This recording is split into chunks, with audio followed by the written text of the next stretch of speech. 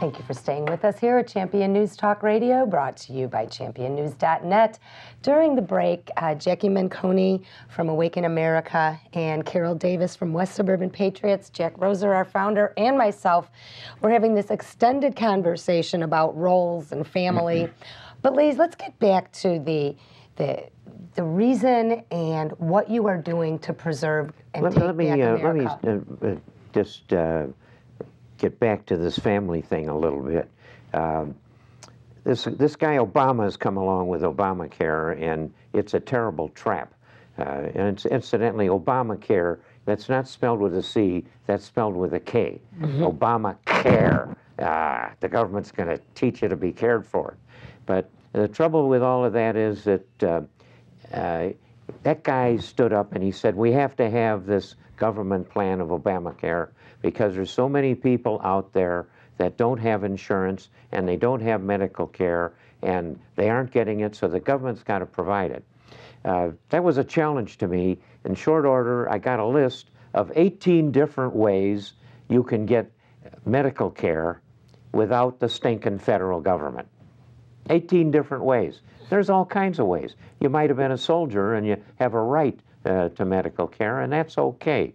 You know, you coughed up uh, part of your life and you maybe uh, stopped a bullet. Uh, that's that's good. You've got the uh, if you want government care, you got the county there. Uh, you also got uh, maybe the the Jewish chil- uh, child, Children's Hospital on the west side. That's no Charities. government at all. You got you something uh, like uh, 45% of the medical care in the whole country is provided in Catholic connected hospitals. Uh, there are Lutheran hospitals, Jewish hospitals. Those are not Obama care places. Uh, they're all places doing things. You've got um, all these people are working. My own company. Uh, we have uh, medical care for people uh, of all kinds. I got a list of. Uh, my memory's not great, or I'd bore you to death with the 18 different ways we can get medical care without that stinking Obama taking our money and telling us who's going to take care of your ailment of today. I don't want a bureaucrat telling me how I'm going to be cured of something. To hell with him. But then Far as how's he that going to control you, Jack, if he doesn't do it that way? Don't you understand? It's all about control. Yes, it's it not about health care. It's about not about controlling health. You you want to know sixth of something about health care, uh, go to Google. Uh, I don't care if it's uh, cancer or a sniffle. Uh, there's uh, a lot of truth on there of uh, what your sawbones uh, ought to know when you finally go to them, because you're, you're going to know a good part about what's available, and it ain't Obamacare. Well, you That's gotta true. you gotta wait to see the other shoe that's gonna drop. Oh, yeah. Starting in 2013, anybody. You talk about the housing market being in a slump. Anybody that sells their home, 13% of that sale is going to the federal government to cover Obamacare. The Supreme Court will repeal it. The Supreme Court, I believe, will repeal it. But also, elections have consequences. And, ladies, what are you doing to preserve the elections? We have a few minutes. If each you would give me two minutes of what, what you've done and what you plan to do for 2012. My goal actually for 2012 is going to be to, um, I want to preserve what we won in 2010. All the congressional districts within our geographical area, we got to keep them in. We got, I mean, we saw this coming when Quinn won the election that they were going to change our boundaries and redistrict. Mm-hmm. At that point in time, our organization started a new chapter in the Schaumburg area, mm-hmm. which is heavily Democratic in the 8th which is going to kind of come over to your area too right now because The it's eighth in the Southern congressional, that's, the eighth congressional. We've that's- got to get that's Joe Joe Walsh, Walsh. reelected. Damn Absolutely. right. We worked hard to, to get that district from uh, Melissa Bean, and we got to make sure we keep it.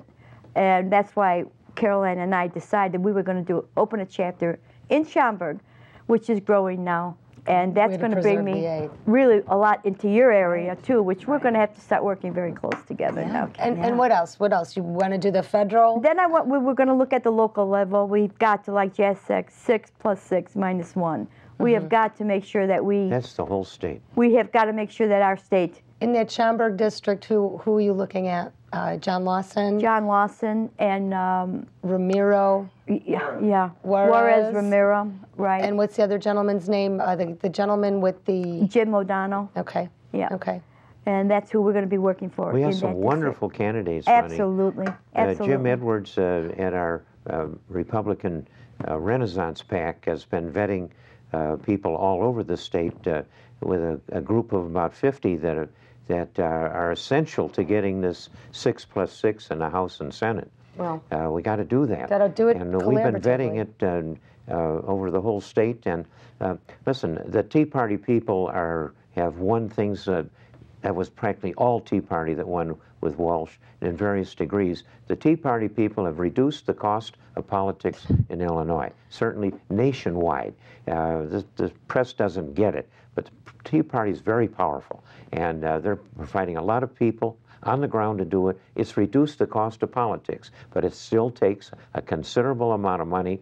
This coming election, the Democrats are going to be loaded with money, not only with Obama, Yes, but with all of the unions Well, are going to spill millions and millions and millions into the politics. Yeah, They wanna know that. maintain power. With the ground game of, of the Tea Party people Mm-hmm. and with uh, people that do have any kind of money from $10 to a million dollars, they better get in there and save their country before these guys finish taking it away from us. Well, our long term, our goal for 2012, and Carolyn and I have discussed this, is we need to work collaboratively with any group, individual, organization, or campaign that want to achieve what we want to achieve and make it happen. And that's what, that's going forward, that's what we're going to do. And I know Carol Davis, you've done a lot with the 200, and I know you guys are organizing, and I want to hear a little bit more about it. And I know Jackie, you're having an event in Schaumburg, a viewing party for Joe Walsh. Absolutely. And we're going to talk about invited. that after the break. Everyone's invited. We'll be right back after the break.